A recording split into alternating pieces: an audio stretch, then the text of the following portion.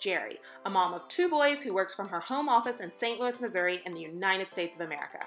Now, traveled through four airports, three planes, 9,034 miles, and a two hour drive to get to Peter Pietermaritzburg, South Africa, to Emily, caregiver of five little kiddos and a preschool director.